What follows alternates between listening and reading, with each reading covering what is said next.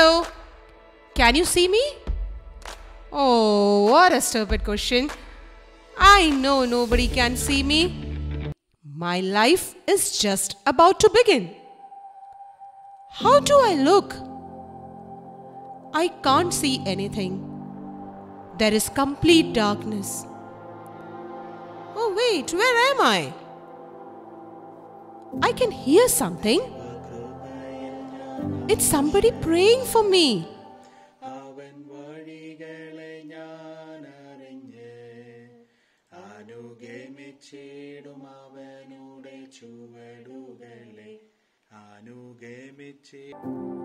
Ah, what is this? Yes, I can see. Oh, now I can see. Where am I? It's my first home. It's my mother's womb. Actually, everybody's first home. My very first sight. My first picture. My first world. Nine months I waited patiently in the womb, wondering what is in store for me next.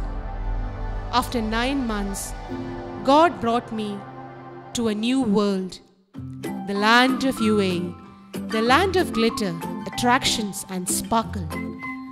Without the blink of an eye, I started registering all those scenes in my mind on my way back home and then started the journey of life, soaking up every picture that went before my eyes.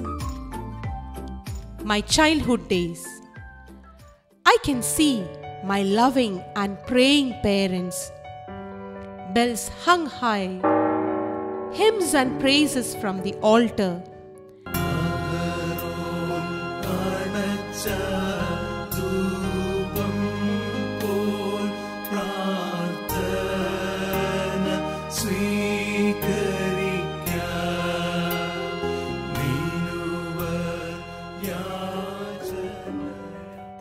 pictures and stories of Jesus Christ from Bible, action songs being taught in Sunday school.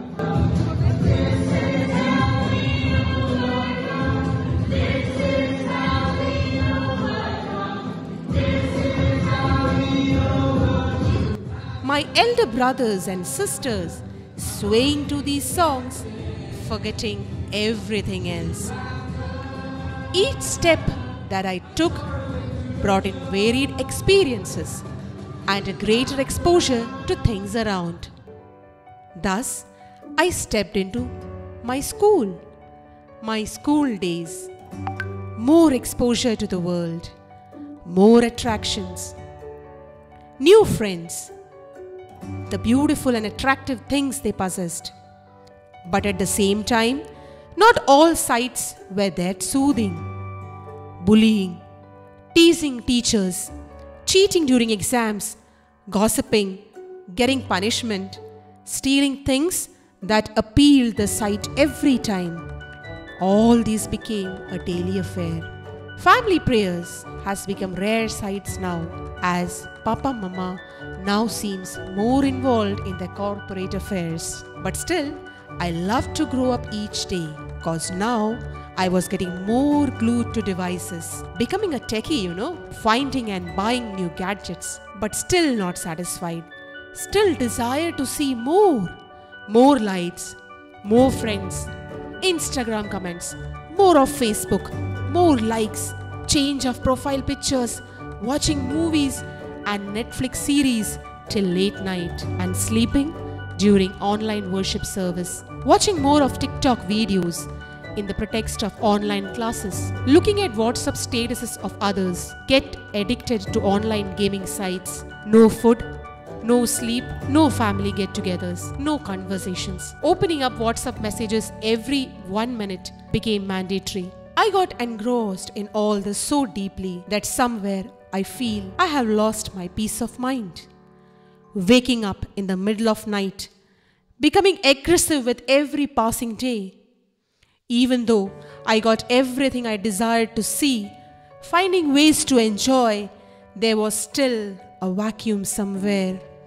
A sense of incompleteness, a feeling of loneliness, engulfed me badly. This was not the world I dreamt of. Has this ever happened to you?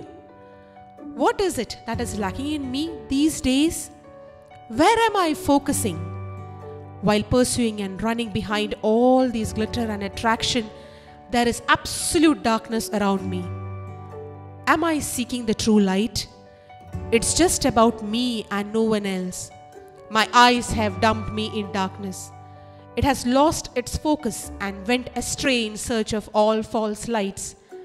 Now, how can I guard my eyes before the brightness of these false lights devour me up? Dear Lord, have mercy on me. I know it will not be easy, and I will have to struggle a lot to filter the sights that I see. But don't forsake me, and let my eyes be the lamp for my body, so that it can guide me to the true light from the darkness I am in now. So, dear friends, let's guard our sight to the true light.